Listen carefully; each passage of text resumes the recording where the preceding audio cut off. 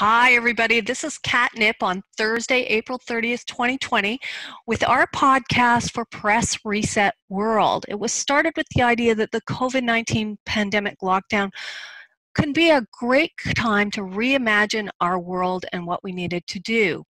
Today, I am virtually joined by Margaret Page. Margaret is the current first VP of Toastmasters International. She's an entrepreneur and keynote speaker, coaching others about business etiquette and coaching women who want to run for political office. Uh, welcome, Margaret. It's a delight to be here, Kat. I I have to tell you that it was maybe 10 plus years ago I met you in Toastmasters, and uh, you said I'm I want to encourage women to get into politics. And I always wanted to interview you from that time. I thought, I got to get back to this woman at some point. It's taken this long to talk about that subject because I, I can't remember the details, but uh, we were both like excited about that idea. So tell me why you think that it's important that women get into politics and leadership roles? Certainly. So, you know, the leadership roles and positions need to look like those they lead. And so, if the population is made up 53% women, 51% women, well, then those in leadership need to look and reflect that so that they can make decisions based on the people that they serve. And uh, for a long time, that has not been the case. But also, the other thing is the model of politics that we have today is not really designed by women for women. You know, mm. it's a mm. very controversial environment, it's a very antagonistic environment. And that's not the way women go about solving problems. We're very collaborative and yeah. uh, work on finding solutions together. So the model is not a good fit for women, but how do we make it a good fit for women so they can get in there and then begin to change it?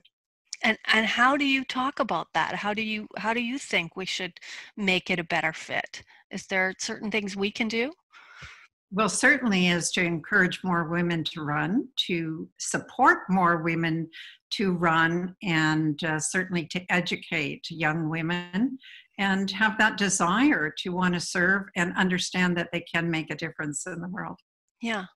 Do, yeah. do you find that young women are getting interested? You know, young women nowadays have different interests than than my generation women, young women, or at least many of them that I'm coming across, really want to make a mark in a different way about doing something unique, inventing something unique, some innovation, or stretching their experiences, climb mountains, and uh, and push their bodies so that they can do extraordinary things, break records, and just find the limits of who they are. Not mm-hmm. necessarily in in politics, but they're just stretching boundaries everywhere of okay. uh, creating and, and being.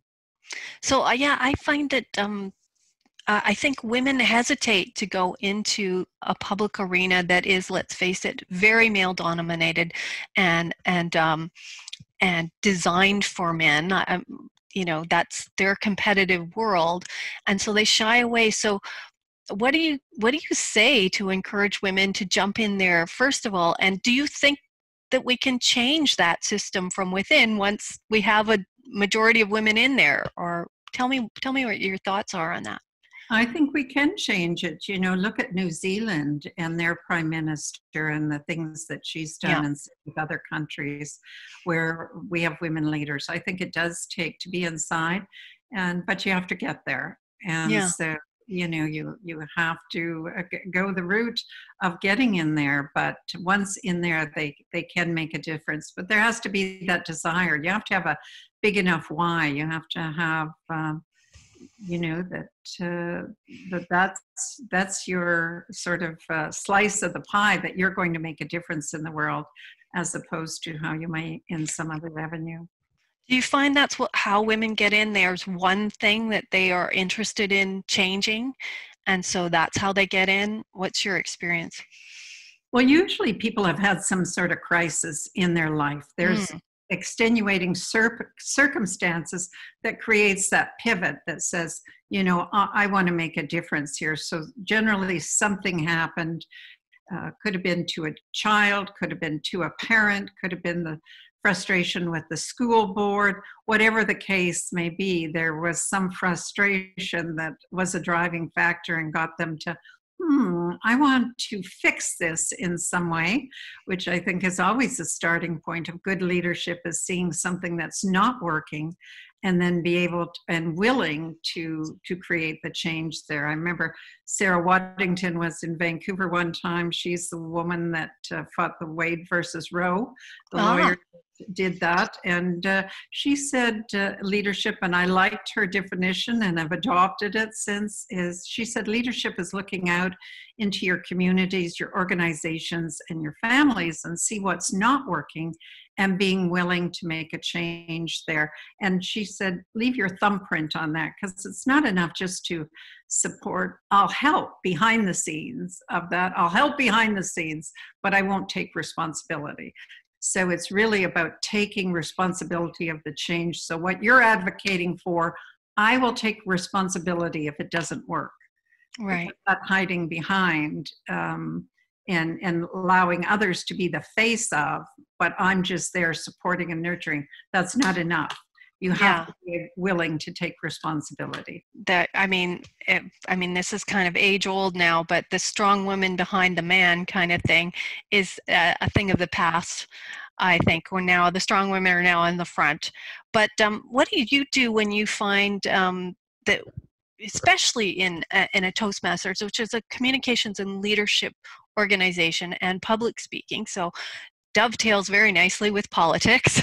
Mm-hmm. Um, what do what do you find that they uh, you have to do to coach them to help them be better speakers, be better leaders? What are the some of the things that they're going to need to know to uh, to win in that environment? Sure. So there's there's many things, but first of all, it's narrowing it down to the why you know to make a difference isn't enough. Everyone wants to make a difference but you have to know specifically how you want to make a difference and then have the confidence and strength to go over the to go after that. Find the words to express that but it's really about specificity about the changes that you believe in and want to create and then helping them have the confidence and support there was some research done oh, probably decades ago by former transport minister Judy Reed, not Linda Reed, but Judy Reed. And, and, at that time, it was about when, you know, a man will make up one morning and say, I'm going to run for political office. Whereas a woman will say, you know, she wants to hear it from others. We want to hear that others believe that we are good enough or mm. have the skills and ability. And if we hear it frequently enough, then we will step out. Now, there's some interpretations of that data. Some interpret that that we make more informed decisions. We want to to know more about it before we make that decisions. And then there's a camp that says uh, women are lacking the confidence. And I, I suspect it's a little of both. That we do take longer to make informed decisions, but also we need the boost in confidence. We want the boost in confidence in order to step forward with a little more strength. Uh, I don't think it's a bad thing that we take more time to make decisions. to you? Wow, I, I think that's that's a good thing. That's yeah, good and it serves us well in small business as well. You know, in small business, women pay their loans off quicker and and are mm-hmm. better uh, yeah we don't go buy toys and trinkets to you know cars and bikes and planes and boats. We pay off our loans so we're good we're good entrepreneurs that way. Yeah i i've always thought that the our responsibility uh, but at the same time i uh, um, I noticed, I mean, this is going to be a funny little uh, metaphor maybe, but watching The Simpsons, and I, I, don't know if you remember The Simpsons, and uh, and Marge Simpson and Lisa Simpsons, uh, Simpson, they're the responsible ones. And then it's Homer and Bart that are irresponsible. And I always think, oh, well, that's interesting how we're always cast in the role of being responsible, mm-hmm. the responsible ones, and yet we're not in leadership. And it's kind of ironic that uh, that seems to be how we're thought of, and yet we're not given this this uh, place of responsibility. And uh, so I think that's part of what could change if we have more women in leadership uh, roles. But tell me about your leadership role because you're now uh, first vice president of Toastmasters International, and I, am I'm, I'm fine if you want to go on about a little bit about uh, what Toastmasters does for leaders. Um, but tell me about your climbing up the ranks in Toastmasters and uh, and your leadership roles personally. Certainly. So, Toastmasters is an organization that teaches communication and leadership skills through a self-paced process. And so you grow as quickly and fast as you want. And the two pillars of success for the organization that's been around since 1924 have been evaluations and mentorship. And so I think these are the two attributes or two areas that where women grow the fastest is by getting uh, feedback on how they can improve and also finding that mentorship, that person to discuss things through, that person to test out ideas with, and, and to support you in your growth. So, my journey in Toastmasters, I joined Toastmasters thinking it would be very much like a course in university. It would be a six month program, and I w- it was once and done, and I would be out the door. And I realized I came to Toastmasters to to be a better communicator or and everyone comes to be better at something and then you realize well to be good at something you need to continue on your journey and continue to polish. And then if you want to step into the best version of yourself then you need to continue to to work on it all the time.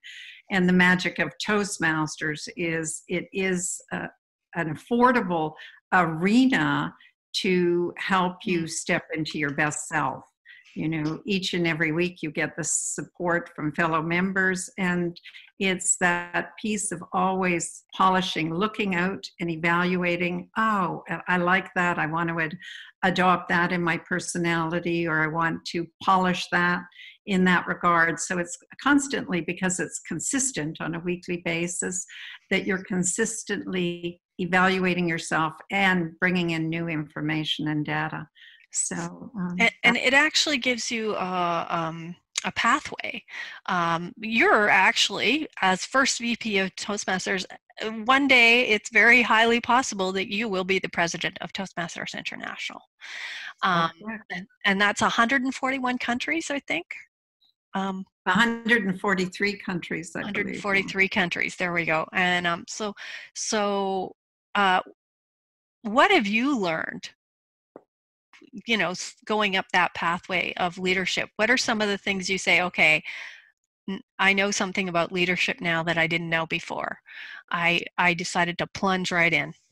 Yes. Well what i learned about leadership the distinction for me which was so incredibly valuable i had been an entrepreneur for more than 25 years, maybe 30 years since I joined uh, Toastmasters, so had lots of leadership experience. But in the entrepreneurial world, for me at least, it was more results. And I always think leadership is about two things it's about results and relationships. Mm-hmm. And results happen to be the the priority for a long time because you're an entrepreneur. And as we've discussed you need to you know pay off your loans make sure you know everything gets done and hold people accountable et cetera et cetera. So it was more on the results to survive. And since i started my toastmaster journey and i think any not for profit it really heightens the relationships and mm. how, how much more important people are. And i think particularly in this time of crisis you know there's there's three things that any organization needs to do and that's first of all take care of their people and uh, protect their financial assets and uh, do good in the world. So how can we do all three? But definitely it's taking care of your people people mm. first. And that's my greatest learning from toastmasters also my experience as when I was the district governor of all of British Columbia, I learned the value of teamwork. I, I thought I knew what teamwork was because I had mm. led teams for years and years and years, and I thought um, the team was going well. And it wasn't until May of my term as a 12 month term for a leadership that I felt a distinct shift where we actually were working as a team. And it was palpable, the difference. So there's a difference between not getting along and then just getting along and then really working as a team. Mm. And that was magical. Uh, I would do that in, again in a heartbeat. It wasn't about ultimately the results we achieved, which were fabulous but what was magical was that we came together as a team, and that was an incredible experience. And so, what what um, what made it go from just normal to that? What was it? Well, I, I liken it to first of all, we came up with a single goal. This is what everyone needs to do, but everyone benefited from that goal. It was simple, and people benefited, but people also became interested. I'm as interested in your growth as I am my own. So mm. let me support you, let me help you, and we're in this together. So it was that kind of mentality of keeping it simple, particularly in a volunteer organization. I think we get too complex because we compare the um, for profit world and, and elaborate you know strategies and tactics and and everything and then we make it too complex. But bring it down to the simple because volunteers don't have 40 hours a week or 50 hours a week 60 hours a week and make sure it's understood by everyone. They all benefit everyone benefits from the outcome. Mm-hmm. and then people are eager and excited to support each other in their growth yeah, you you mentioned um, the uh, Prime Minister of uh, New Zealand, and um, is is there a role model, a female role model, either in the past or currently, who who is somebody who you admire as far as a leader goes, a female leader goes, that you can? I've always to? admired Eleanor Roosevelt. Mm.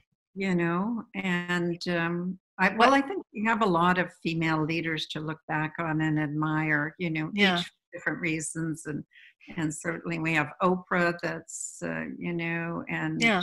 a lot of I, I, you know, if you if you search in business, the most articles written in business is on leadership. Yeah, and we have so much variety in our leadership, and uh, I think all of us uh, step up in different ways. So we can't just define one type of leadership. One time I was right. asked, asked the question the difference, you know, if Winston Churchill was put in Mother Teresa's position and oh, Mother yeah. Teresa was put in Winston Churchill's, would they be the same leader?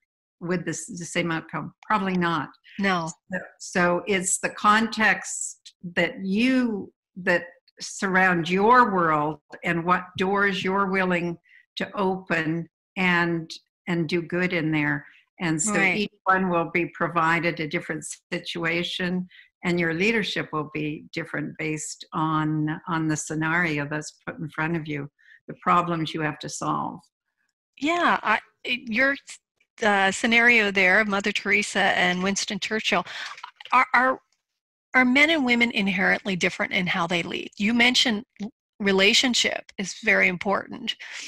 And I, I think, God, that's not something I hear men talk about in a big way. I, I hear women talk about relationship a lot more in a big way. Is, is that one of the inherent differences between male and female leadership, do you think? Or well, if you look at Simon Sinek, that's all he's been talking about oh, for okay for a number of years. So I think there has been a shift. There there has been a shift because of the women that stepped up, you know, in the last 15 to 20 years and the number of women that are getting educated in different fields and arena and the women that are raising their hands and saying I want to make a difference.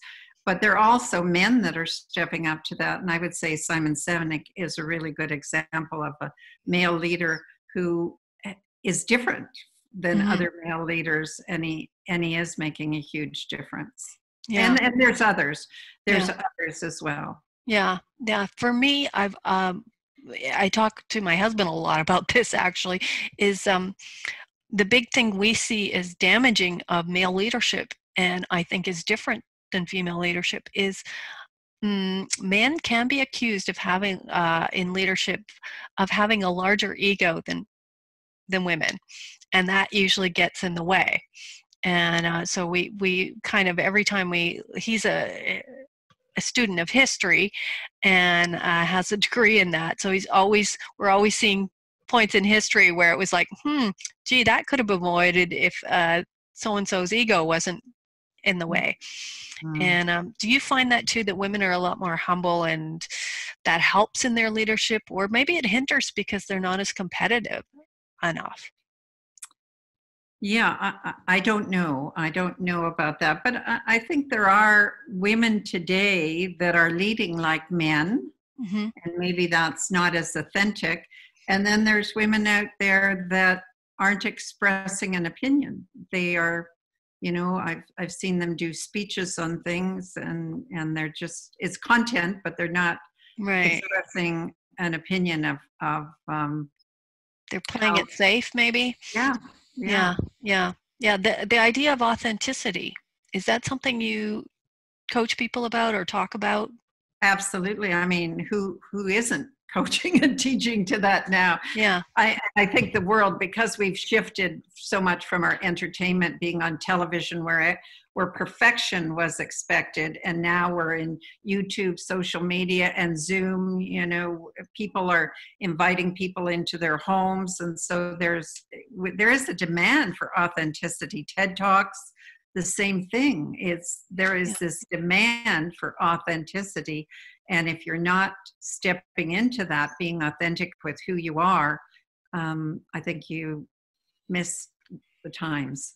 yeah yeah it's it's it, it's interesting at this time now that a, a lot of talk shows and everything have gone into people's homes and everything and we're seeing all these celebrities and different people in their own natural habitat dare i say and i think that's eh, that that helps the authenticity uh, to a certain extent and i don't know if that's going to have a big influence in the future once we come out of this or not um, are we going to want to break down those barriers and be less formal or um, and what might happen to our I leadership already- I think we're already there. I think we broke down broke down the barriers, yeah formality, and uh, so what's next? Really, what's next? And and what um, is next? What what do you think is next?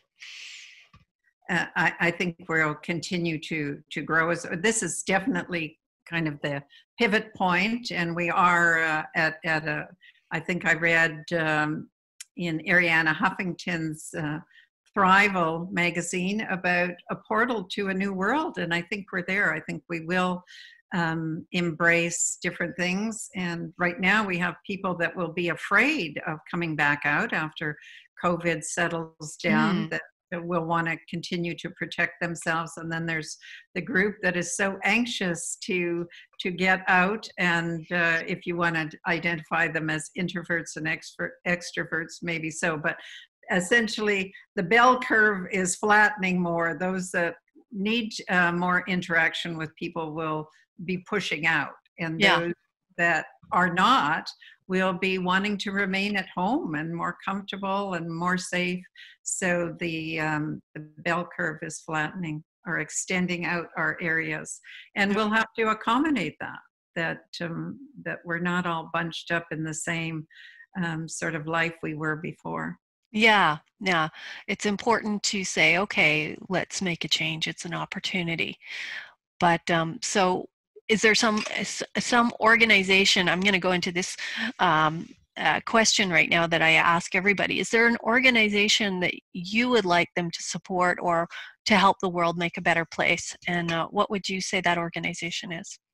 Yeah, well, uh, I say support and encourage Toastmasters International because it helps people find their voice, no matter what your economic background or your gender or or race, whatever it is. Help people find their voice so they can make a difference in the communities that they work for, and uh, and that's a good thing. I know because you and I have both seen people in that organization just thrive and just come out of their shell in a way that they never would in any other organization. So, so transforms people's lives. I can't tell you the stories around the world I've heard, you know, that were people that were on the verge of of, of so many tragedies and so much and and lifesavers for them and now because we're online we become a safe haven for people people sharing their stories mm. people mm. sharing their worry anxiety because of covid and having a place to meet and connect because what many are lacking now is connection and we're filling that void so right so is there is there a success story in toastmasters that you think of right away? Like a one person success? Yeah yeah you don't yeah, have to mention their name. Yeah there is uh, in the, the one that always pops in my mind was the woman that said to me that she was on the verge of suicide her uh-huh. her child. She had a, a baby that uh, had crib death oh. and she said she struggled for about six months and she was just on the verge of she just could not live without the child and felt that it was, you know, she could have done something and was blaming herself. And someone dragged her to a Toastmaster meeting, and there was just a glimmer of light. And then there, and then the light got bigger and bigger and bigger. And she said it's virtually saved her life. And to me, that because I'm a woman and a mother, and I, you know, for to lose a child like that, and that we were able to give her something to look forward to and help support her so and we're not a, a, a, a psychological you know no, no therapy group no. or anything like that don't get me wrong we're not a counseling group but if we are an arena for people to learn and grow and and that's what people do and her ability and we all seek progress in our life in some way or mm-hmm. another Mm-hmm. and and uh, pathways or toastmasters guide you to that growth of yourself so. uh, you know i don't know if you've uh, watched brene brown brown's uh, vulnerability talks and, and uh, or any of her books or anything like that but i think that is also um, what you just said reminded me that I think that's another aspect of women in leadership. In uh, they're more likely to be vulnerable, uh, to to show their vulnerability and um, and that's maybe something we need in the world. Well i have to tell you I, I know you're almost wrapping up but i think this is an important topic. So i in the last few years i've actually shed tears in front of audiences. I had never you know for probably 20 years in my life i was you know just not I, it just didn't happen. Yeah. There was nothing to shed tears about. But I have shed tears in front of audience, and the first couple times I beat myself up, and I thought, oh, why, you know, oh, why yeah. did I do that? Why did that happen? And so I actually took it to an audience, and I said, how do you feel about women that you know do you see them as lesser or do you wish they hadn't of or how do you see them and it's interesting that young people really see that as a sign of unth- and anyone that was under 30 just applauded and bravo and uh, anyone over that age group was yeah it's okay um, no one dissed it no one said oh that you know because I, I, I don't think you can in this day and age about being vulnerable that way but it was very fascinating how mm. how it, it was actually appealing to young people now i don't encourage anyone to go out and get tearful in front of an audience just to get appeal yeah, but there yeah. is different thoughts about uh, about that expressing that level of emotion in front of an audience? Yes and you know what? I had a mentor who uh, made us uh, go and watch courage under fire um, which is meg ryan and uh, and she is an officer in a combat situation. Mm-hmm. And at, at, one point in there, uh, spoiler alert on this one, she she cries in front of the men, right? And they some of them start rousing her and she just turns on them and says i'm just releasing. That's all i'm doing. And um and there's actually i think scientific studies on on that that it actually reduces when women cry that it actually reduces their stress and possibly why why men feel more stress um, is because they don't have that release and so yeah. we it's it's interesting that gen, the uh, age difference breakdown when you did that little little survey that we're maybe changing and looking at leadership different and bringing in this brene brown uh, idea that vulnerability is a good thing. Yeah.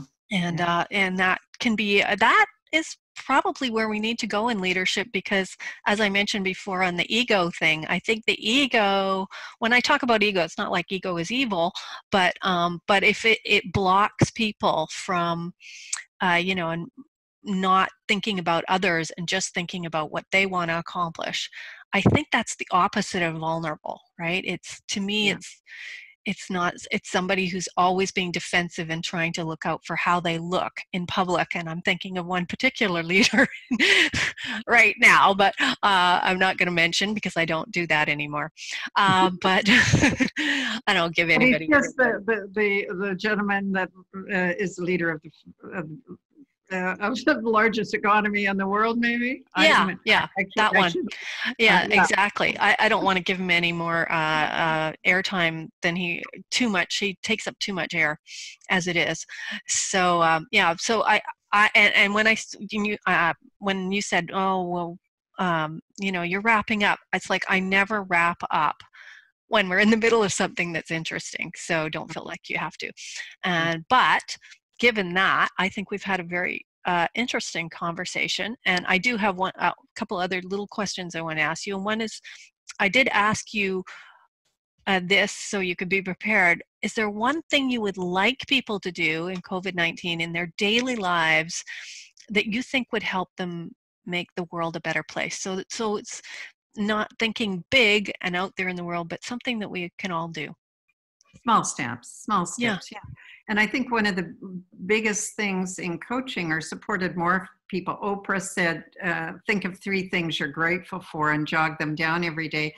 And uh, so I've done what I called maximizing that and three uh, and I have people give send two compliments to two people each and every day. And it's unique compliments. It's um, so it can't be complimenting someone for something they already know or heard. And so it's each and every day thinking about that. And mm-hmm. then um, for years I send one thank you card, and that was not my original first idea. I had heard it from Pamela Goldsmith Jones, and uh, and and it turns out that many other leaders do as well. Is send one note of gratitude. So it's really those three great things. Oprah's model was three things I am grateful for in my life. So just cataloging that but yeah. two things two compliments to people mm. send an email out unique because it helps you sharpen who you want to become as well, but also lifts them up and supports them. And then one note of gratitude. So I call it the three, two, one of maximizing oh. yourself. So very specific. Kind very of specific. specific. Okay, well then I can give you a very specific compliment in that I admire you and uh, I love look up to you as a, a leader and obviously I hold on to that for like 10 years of wanting to interview you. so, oh, so, so that's what I, that's, that's what I want to give to you. If that's a compliment, there it is. Well, um, and I've really enjoyed talking to you and thanks for coming to Press Reset World podcast. And uh, to our listeners, uh, please give us your comments and tell your friends to subscribe on pressresetworld.com or our YouTube channel, which is PRW. And a link should be at the end of the pod post on Press Reset World. Um, perhaps you would make an excellent guest or have an article to submit on our blog. Uh, we want your opinion, your expertise, perhaps, or but mostly your opinion. So contact us. So to me, many man, minds, many minds make deeper wisdom, and uh, that's what I'm I'm standing up for. So I want to thank you again, Margaret Page. At margaretpage.com is where you will find her if you want to know more about Margaret. Keep doing the great work, Margaret. Thank you, and you too, Kat. Bye. Bye now. Bye now.